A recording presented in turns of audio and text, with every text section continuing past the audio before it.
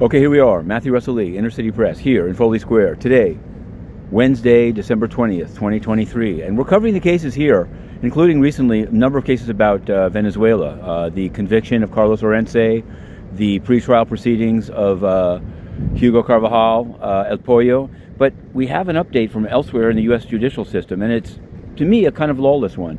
Alex Saab. Now, there's a lot of controversy whether he should have been arrested, but he was arrested. He was reputed to be a money launderer for the uh, Maduro regime. And he's been in jail, but he's out. He's out, and the White House won't say anything because they've made yet another one of them. As with uh, the famous Victor Bout and others, they've made a deal. They've made a deal to release Alex Saab in exchange for apparently 10 Americans held in Venezuela. And although I'm sure the 10 families are happy, and I don't mean to be heartless, I think it's, it's, it's crazy because Carlos Orense is, uh, for example, and I'm not, I watched his whole trial. He's kind of a large gentleman. They called him El Gordo. But like, what is he? Chopped liver? Is El Gordo chopped liver? Why aren't they trading him? So it makes it casts a pall of lawlessness over all of these proceedings because it basically means. Let me give you another example.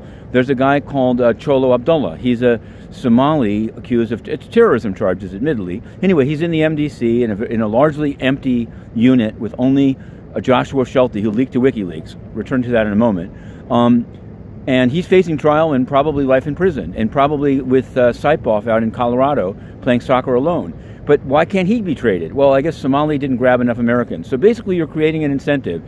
If you want your guy back from the U.S. judicial system, grab some people, and then let's make a deal. So I don't know. Uh, we cover the cases, but it's it, when, when, when, when, when somebody pulls the trump card like that, and I use that phrase advisedly. Now, the other case is Julian Assange case. The visitors to his redoubt there in the Ecuador mission, they, their case survives. Two counts were dismissed, apparently. One survives, that the searching of their phones. And so the case goes on. You can find it exclusively. I don't know. We wrote it first on Inner City Press.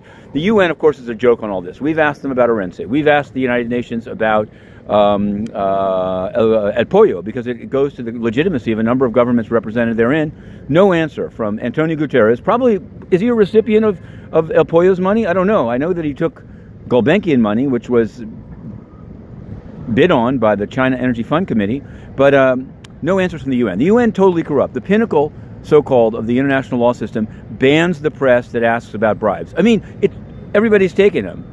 But she can't even take a question about it, makes you a dictator. Okay, inner city press. We won't cease, though. We've applied to re enter the UN, and for now, we're entering the SDNY. To be continued.